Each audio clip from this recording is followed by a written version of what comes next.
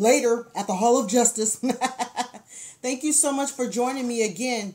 Today I'm going to be talking about screen mirroring.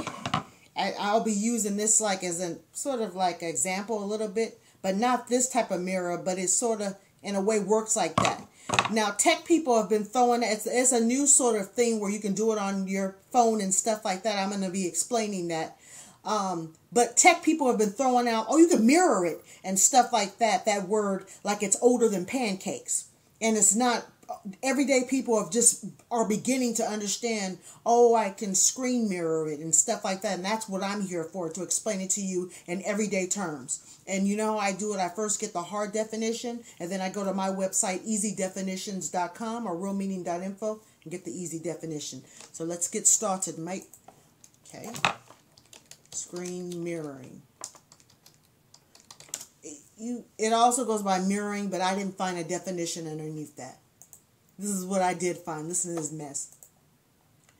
Screen mirroring allows you to mirror your phone or other devices screen onto your TV screen wirelessly. Yes, that's true, but you know, it's a very short definition, which is good, but they it doesn't tell you st still what it is. I guess if they thought they made it, you know, if they made it shorter than a tic tac, people would get it. No, people will not get it, especially if you don't explain what mirroring is. And that's what I'm going to do. Let's go to realmeaning.info or easydefinitions.com and let's get the real or easy definition of what screen mirroring is. Okay, this is what it is.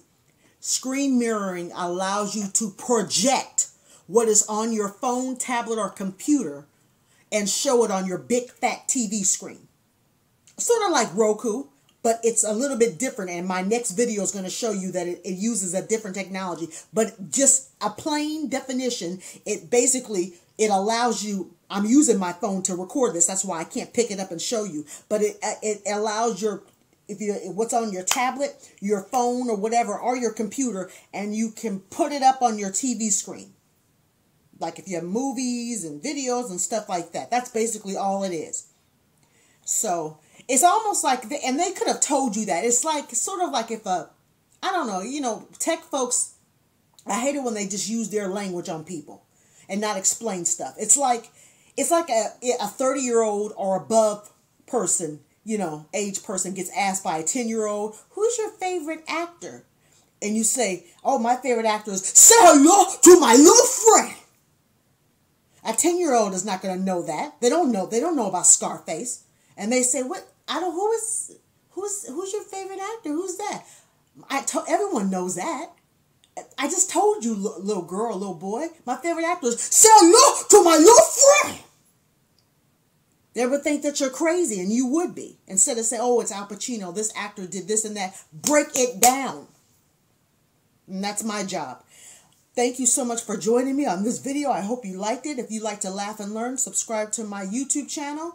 Please uh, keep checking out my uh, easy website that explains words just like that, realmeaning.info or easydefinitions.com. Thank you for joining me. Thank you and goodbye.